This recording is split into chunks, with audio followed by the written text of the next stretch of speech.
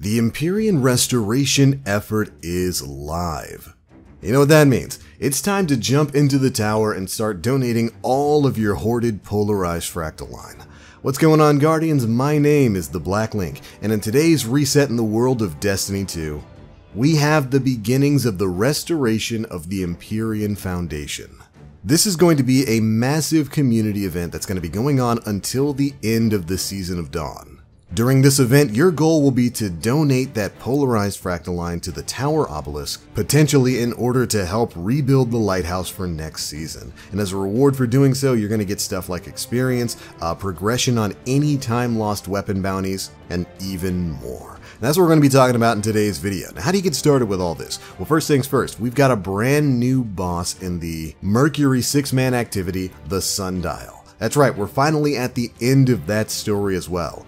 Inatam, Oblivion's Triune, is the new final boss of the Sundial. And in order to get started with the restoration effort, you're going to need to defeat that boss. So go ahead and load up the Sundial, go all the way to the end, and experience the new boss fight. It's actually really, really cool. It's like a mini raid encounter. Over the course of the fight against Inatam, you're going to fight against all three of the previous Scion bosses. So if you're missing one of those for the Triumph, don't worry, you get to take them out here and activate that Triumph.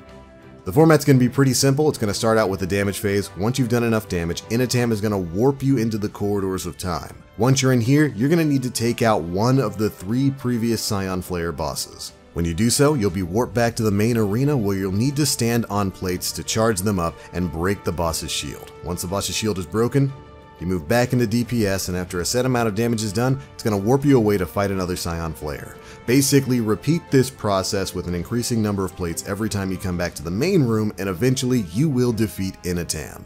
It's a really fun boss fight that incorporates the mechanics of the previous Scion Flares as well, so you will need to pop bubbles and watch out for the Thunderstorm and all that kind of stuff. But anyways, once you're finished with this, it's time to return to the tower. Go and speak with Saint 14. He should have the next step of a brand new quest for you. This quest step is going to require you to gather 30 orbs of light, which of course shouldn't take you too long at all. You can go and really run anything for this. If you want my opinion, head right back over into the Whisper of the Worm mission over on Io. Make your way through the jumping puzzle and into the green room. Once you're here, of course, you can just head down into the graveyard area where the Shadow Thrall are, and just farm away to your heart's content. Equip a masterworked weapon and you'll be popping orbs in no time flat. I was able to get the 30 orbs I needed here within just a few minutes. But of course, you can go and run anything. You can go to public events or anything like that. And you should be able to farm up those orbs. Again, you're going to want to run masterworked weapons. If you've got a masterworked risk runner, that'll work great. But anything masterwork, since getting double kills, you know, multi kills with those weapons, automatically generates orbs of light. Either way, you should be able to get this done fairly quickly. Doing this will reward you the light infused core. From there on, return to the tower and insert that light infused core into the tower obelisk. And once you've done so, congratulations, you will have officially joined the Empyrean restoration effort.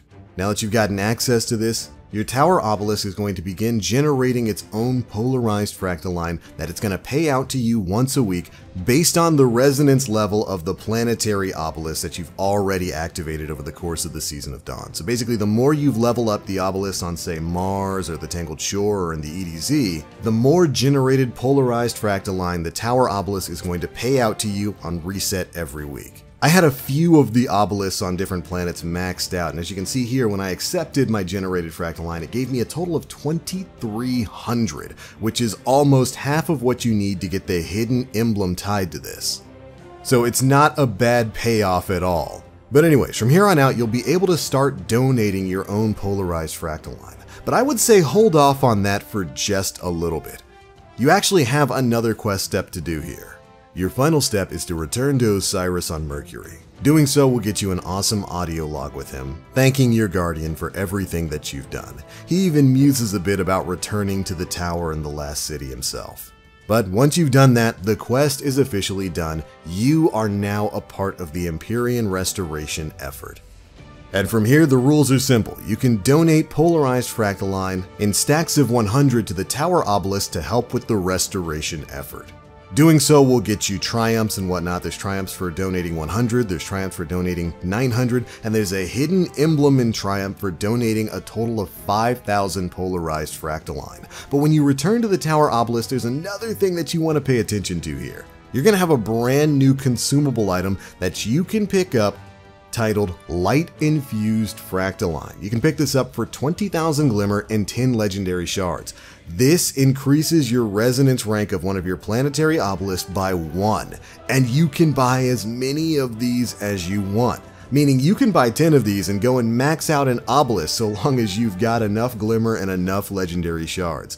This is probably the first thing you should do if you have the resources for it. If you've got the available glimmer and the available legendary shards and you haven't maxed out all of your planetary obelisks, this is absolutely something that you should do. And it's fantastic that Bungie included this as a way for people who maybe have been taking a break over the course of the Season of Dawn to get caught up with their obelisks. By getting all of those obelisks up to max resonance or at least resonance level 11 so you can purchase all of the buffs on each of the planetary obelisks, you're going to be getting the most back from the tower obelisk each and every week, ensuring that you'll be able to hit that 5,000 fractaline donation limit in order to get the hidden triumph and the hidden emblem.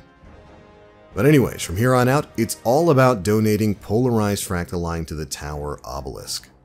And again, the basics are this. You can contribute to the Empyrean Foundation by donating polarized fractaline in stacks of 100. Contributing that fractaline will also generate about 25% flat progression towards all time lost weapon bounties in your inventory. This is huge. You can go and pick up any of the bounties that are tied to the obelisk so stuff for Traveler's Judgment, for the Jack, Queen, King, any of those weapons, and as long as they're in your inventory when you're donating that 100 polarized fractaline, you get 25% total progression towards the completion of that bounty. Meaning if you turn in polarized fractaline four times in a row, if you turn in 400 polarized fractaline, you complete whatever bounties are in your inventory automatically.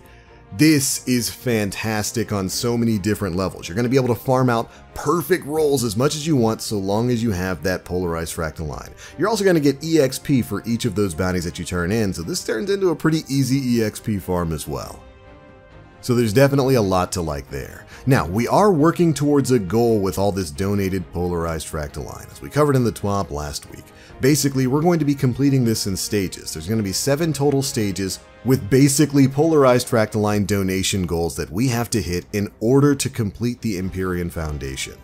Stage number one is going to require a total of 400 million polarized fractaline donated, stage number two, 700 million, and stage number three, 1 billion 200 million polarized fractaline. That's a lot of donations, but I think our community is up to it. After that, stage 4, 5, 6, and 7 are currently unknown. But here's hoping we can get through it before too long. But alright Guardians, there we go. That is everything you need to know about the Empyrean Foundation. The last question you might be asking is, how can I earn Polarized Fractaline really quickly? Well, there's actually a lot of ways to do that. There are weekly bounties that you can pick up from the Tower Obelisk that will grant you large amounts of polarized fractaline. Of course, the daily bounties from Saint 14 will also offer you large amounts of that fractaline.